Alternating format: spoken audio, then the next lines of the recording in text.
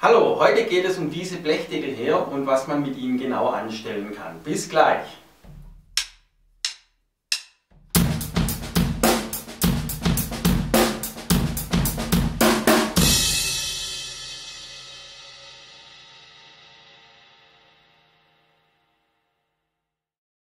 Hallo und herzlich willkommen auf startdrumming.de. Heute zeige ich euch, was man genau mit Becken macht, wie sie konstruiert sind und welche Aufgaben sie erfüllen. Grundsätzlich gibt es hier bei Becken drei äh, Merkmale äh, konstruktionell, nämlich eine Glocke, ja, die sorgt für den Obertonspektrum, also wie äh, obertonreich das Becken klingt, je größer die ist, umso mehr Masse ist hier versammelt, umso höher klingt das Becken. Also wer richtig Ping haben will und will, dass das Becken sich durchsetzt, der braucht da eine große Glocke. Wer da weniger davon will, der sollte ein Becken wählen, das eher kleiner ist. Dann gibt es als nächstes den Bogen, das ist das hier, also der Bereich von der Glocke bis hin zum Rand. Der Rand ist die nächste äh, Baustelle, der geht so quasi die ersten 2-3 cm vom Rand weg. Das ist eben hier der Bereich, an dem man ein Becken ancrashen kann. So, und das seht ihr jetzt ganze mal natürlich mit Stücken am Set.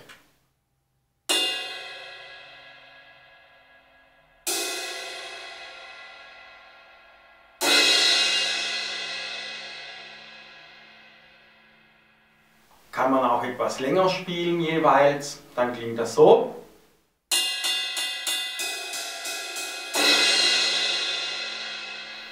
Und demonstriert habe ich das hier mit meinem Evolution Crash, das ihr auch jetzt gerade gesehen habt.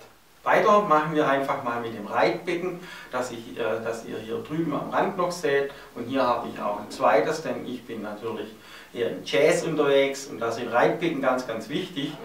Meistens spielt man beim Reitbecken ja äh, den Bogen und hin und wieder auch mal die Glocke. Und das sieht dann ganz einfach so aus.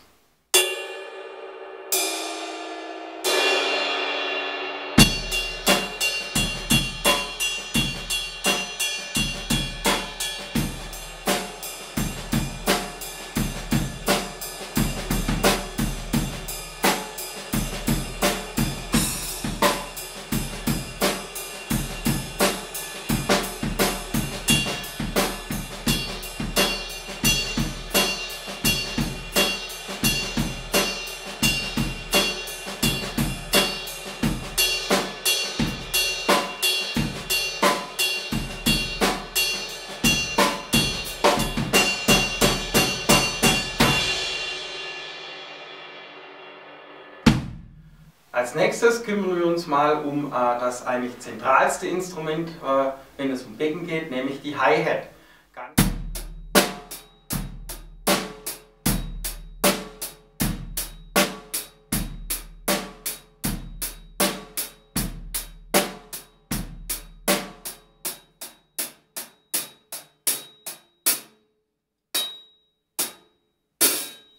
Ein Becken wird ja auf einer Hi-Hat-Maschine montiert, das kann man dann auch öffnen ja, und das klingt dann gespielt so.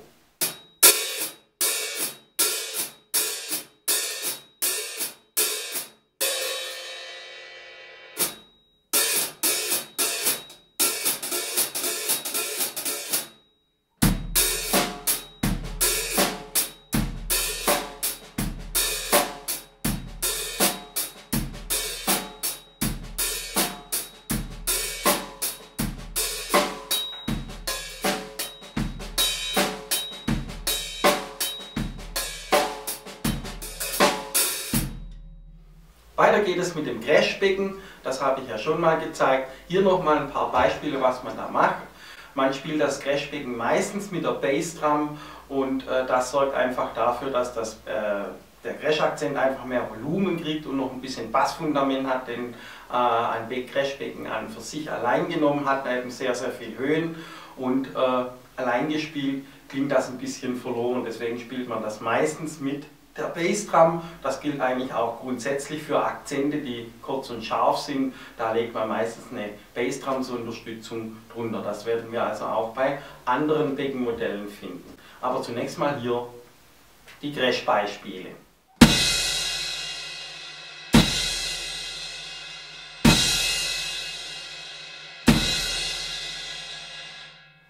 So, weiter geht es mit der äh, Effektabteilung. Da fange ich am liebsten mit meinem geliebten Splashbecken an. Da habe ich hier zwei Stück. Das hier ist ein 8 Zoll Splash und das ist ein 10 Zoll Splash. Klingt dann so. Ja. Der Name erklärt sich von allein, genauso wie beim Crash. Ein Crash erzeugt halt den Klang, nachdem es benannt ist. Ja, und ein Splash, das ist so ein platschender, schneller äh, Sound, der gleich wieder weg ist und für feine kleine Akzente sorgt. Und gespielt klingt das jetzt so.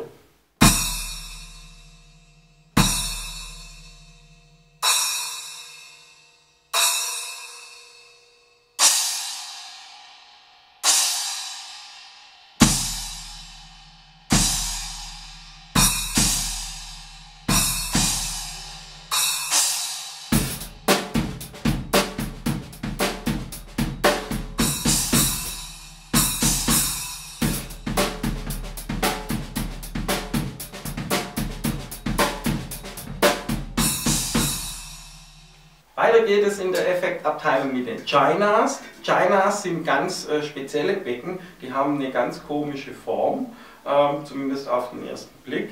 Ähm, das ist eigentlich der älteste Typ Becken, den es gibt.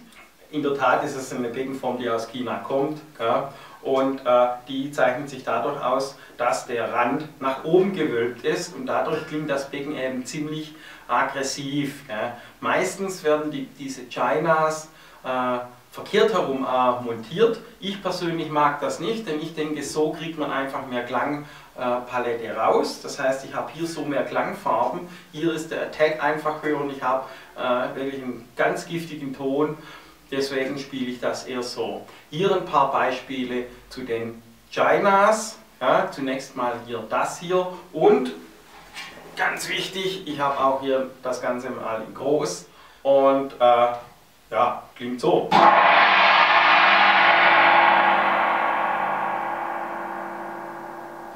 Und hier das Ganze am Set.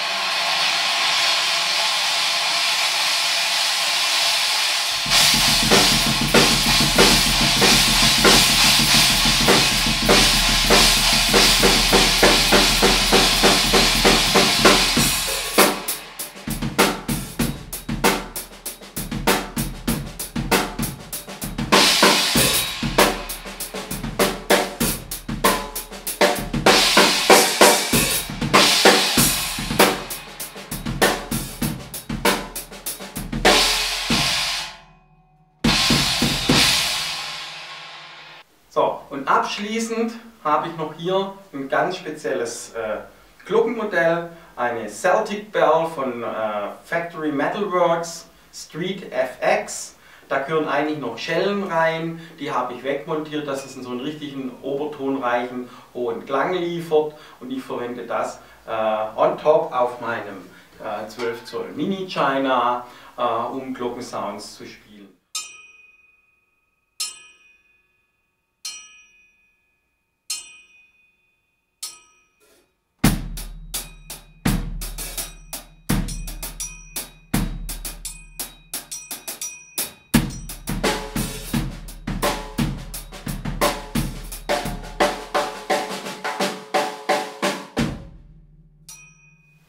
Da wir jetzt alle Becken, die man so grundsätzlich verwenden kann, äh, durchhaben, können wir einfach hergehen und mal vielleicht äh, betrachten, äh, zu welchen Zwecken werden die einzelnen Beckentypen verwendet.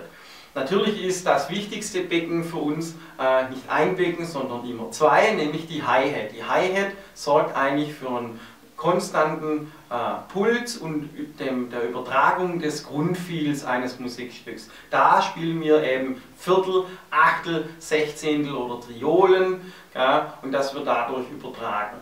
Hin und wieder verwenden wir das eben auch für Effekte und äh, können das entsprechend dann öffnen, da ein Pedal dran ist. Ja, dieses Pedal kann man auch als Volumenpoti nutzen. Zum Beispiel in der Rockmusik öffne ich eigentlich immer das Becken ein kleines bisschen, wenn es sehr aggressiv und laut sein soll. Und das kann man dann wirklich dann ähm, so verwenden, indem man es leicht angrescht und öffnet. Das klingt so am Set.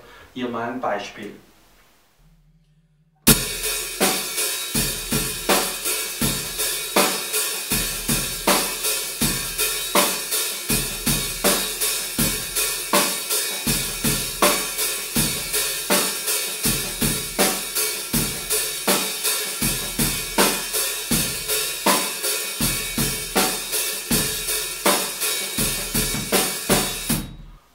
Ganze kann man natürlich äh, äh, noch besser demonstrieren, wenn, wenn, wenn, man das Ganze mal ein bisschen ACDC-mäßig gestaltet.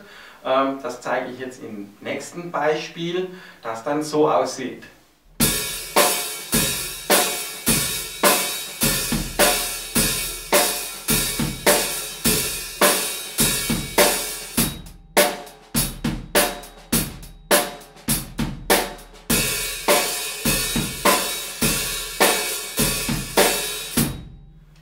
Ihr habt jetzt gesehen, ich habe Achtel gespielt und zwar auch in dem ersten Teil. Das klingt zwar ein bisschen viertelmäßig, da verschwindet aber durch das Öffnen der Hi-Hat der äh, Upbeat, also den Upstroke auf der Zählzeit und im Rauschen.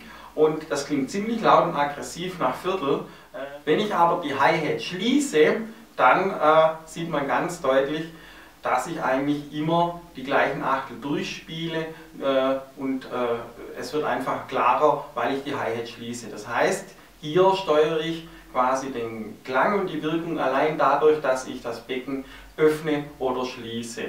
Ja? Und damit kann ich eben den Ton gestalten und auch den Groove und das Feel, das ich spiele. Das ist eben äh, ein ganz zentraler Punkt, die die Hi-Hat für uns sehr, sehr wichtig macht. Da kann man sehr, sehr viel äh, gestalten, was den Groove angeht. Die gleiche Aufgabe wie die Hi-Hat erfüllt auch das Reitbecken. Das Reitbecken ist einfach ein Substitutorklang, also eine gleiche Funktion wie die Hi-Hat, nur eben anderer Klang.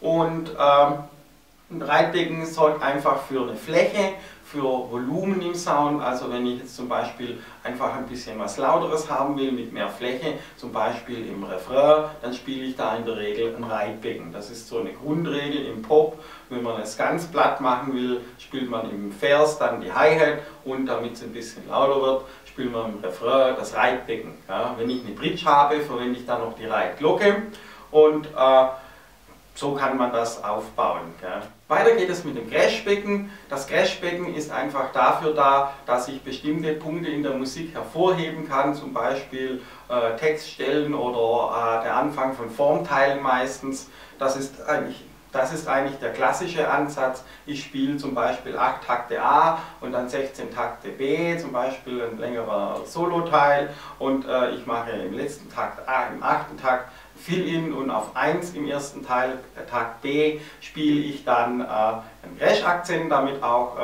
jeder weiß, okay, jetzt fängt der neue Formteil an. Und das ist so die Grundaufgabe der Crashbecken. In der Rockmusik zum Beispiel haben sie auch äh, harmonische Funktionen, denn da werden oft dann Harmonie und äh, Riffrhythmen in den Crashbecken mitgespielt. Deswegen haben äh, Rockdrummer auch immer mehr äh, Crashbecken. Ja, also das ist die Funktion des Crashbeckens in der Rockmusik, die sind da auch häufiger vertreten. Der Jazzdrummer zum Beispiel, der spielt äh, konstanterweise eigentlich mehr auf dem Reitbecken, deswegen haben viele Jazzdrummer eigentlich nur Reitbecken, also Minimum zwei Stück. Ja. Hier mal ein Beispiel für ein Jazz-Reitbecken. Äh,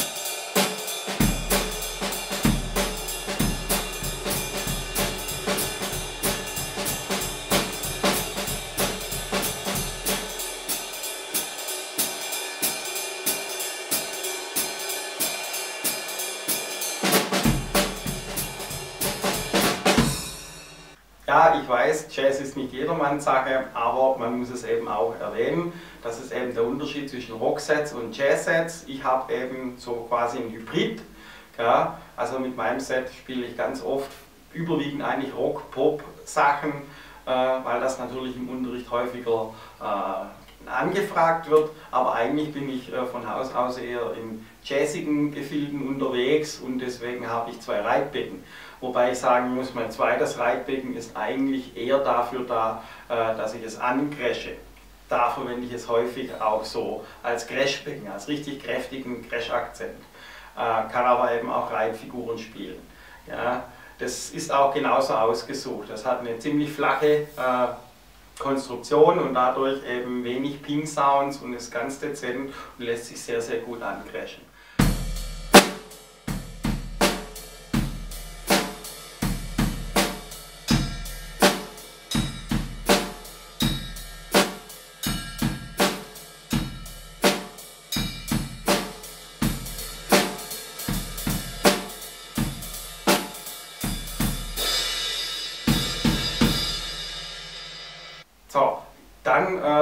Kann man noch ein bisschen was über Effekte sagen. Zum Beispiel Splashbecken sind für mich eigentlich da für das äh, Topping, also wie auf einer Torte der Zuckerguss.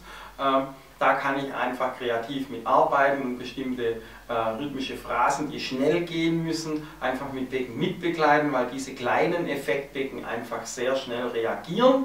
Und ähm, das ist natürlich äh, schon ähm, für mich äh, so eine Spielwiese, die ich immer ganz gern mag. Also ein Setup ohne Splashbecken wäre für mich nicht vorstellbar. Und äh, probiert das einfach mal aus. Ist nicht jedermanns Sache, also zum Beispiel im Punkrock und Heavy Metal sind Splashbecken, ja es gibt auch Metal-Drummer, die Splashbecken verwenden, ja, aber eigentlich ähm, kommen die meistens nicht mehr ganz so gut durch, wenn äh, tonnenschwere Bässe dann äh, drüber donnern und Gitarrenwände äh, das, das Klangbild dicht machen. Das ist meiner Meinung nach äh, eher was für transparente Klangbänder. Ein Meister äh, mit äh, Splashbecken umzugehen ist für mich Manu Cachet. Der ist ja bekannt dafür, das ist sein Markenzeichen. Der hat zwei kleine Splashbecken in glaube ich 6 und 7 Zoll oder zwei 6 Zoll von Silchen, Silchen AW-Serie, wenn ich äh, mich recht entsinne. Ähm, da versuche ich mal einen Link zu finden, schaut euch den Herrn mal an. Das äh, lohnt sich, das ist wirklich eine charakteristische Art und Weise, seinen Sound zu prägen durch einen speziellen Beckentyp. Auch das ist möglich. So, und jetzt sind wir äh, zurück bei den Chinas. Die Chinas sind einfach für ganz brachiale Sachen äh, zuständig. Äh, mit denen kann man richtig Alarm und Lärm machen. Die äh, sorgen einfach für ganz aggressive Sounds und äh, äh, setzen sich immer ganz krass durch. Deswegen werden sie hauptsächlich auch in Rock und äh, Heavy Metal ganz gern verwendet. Die setzen sich auf jeden Fall durch, durch jede Gitarrenwand. Man kann natürlich auch in Crashbecken äh, Reitfiguren spielen.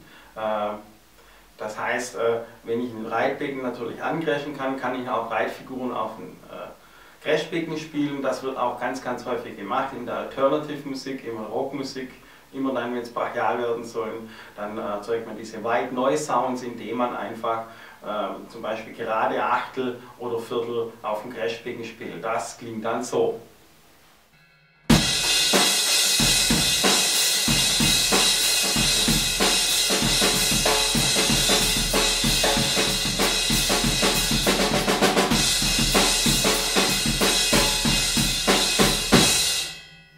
Okay, das war jetzt hier mal ein Überblick über die Funktionen und die einzelnen Beckenmodelle. Macht euch mal selber dabei dazu Gedanken und probiert da ein bisschen rum. Ja, äh, die äh, Beckensets äh, sind doch sehr unterschiedlich von Drummer zu Drummer. Das ist immer eine sehr individuelle Sache, was man da genau bevorzugt und hängt sehr stark von der Musikrichtung ab, die man hauptsächlich spielt. Ja, die gibt es natürlich auch in unterschiedlichen Dicken und und unterschiedlichen Oberflächen und äh, da ist es natürlich dann äh, für den Rockdrummer wenig sinnvoll, wenn er äh, dunkel, weich klingende Becken, die super sind für Jazz und schön dezent sind und nie laut werden, sich kauft, weil er das persönlich geil findet. Und dann, nur um dann festzustellen bei der Bandprobe, dass man seine Becken einfach nicht mehr im Bandsound hört. Ja, das heißt, in der Rockmusik sind eher die brillanten, lauten Sounds gefragt und im Jazz halt eher diese, die Sounds oder auch im Funk, Soul, RB, Hip-Hop, eher Sounds, die sich in die Musik äh, einpassen, einfügen und äh, nicht so durchschneidend sind. Das ist so grundlegend so eine Sache. Aber da könnt ihr einfach, einfach mal äh, rumprobieren, ein Musikgeschäft fahren und euch mal ein paar Sachen anschauen. Wenn ihr mal über die Phase der Einsteigerbecken hinaus seid und euch einen guten Beckensatz kauft, dann könnt ihr da euch mal Gedanken zu machen, denn dann wird es ja dann auch etwas kostenintensiver, denn an den Becken kann man relativ wenig machen. Äh, ich kann ja nicht nachträglich noch ein bisschen hämmern, das wird meistens nichts werden, das ist unheimlich schwierig, so ein Becken herzustellen. So, das soll es jetzt aber endgültig für heute gewesen sein. Ich hoffe, das war wieder für euch interessant. Wenn es euch gefallen hat, lasst einen Daumen nach oben da. Äh, wer noch nicht Abonnent meines Kanals ist, kann das jetzt hier nachholen. Äh, dann verpasst ihr nichts mehr. Und ansonsten wünsche ich euch viel Spaß mit euren Becken und nicht vergessen, Start Drumming!